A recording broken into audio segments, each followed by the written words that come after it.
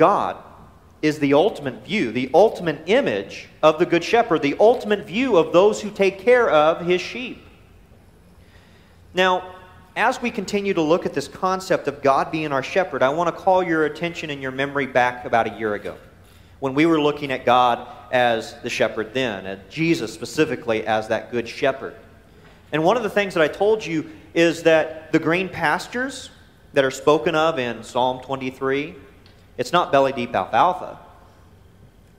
The pasture land, the shepherding land of Israel was the desert.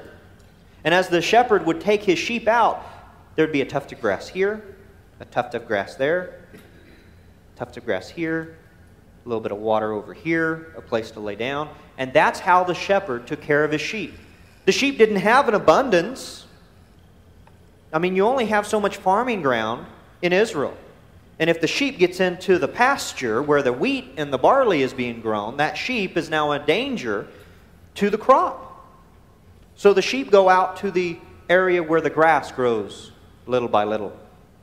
And that's where the sheep is taken care of. And that's what God does for us. He takes care of us.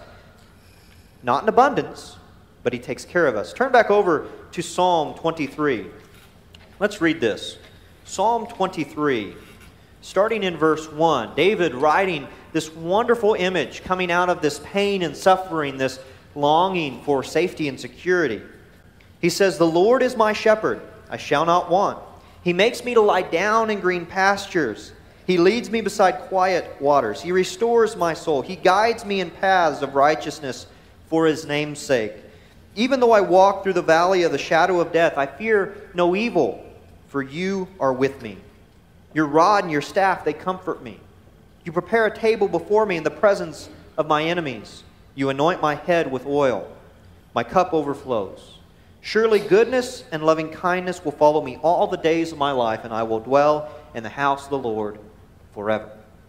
What a wonderful image of God taking care of us, as God is our shepherd, as God cares for us and tends to us, leading us to where we need to go, making sure that we have everything that we need.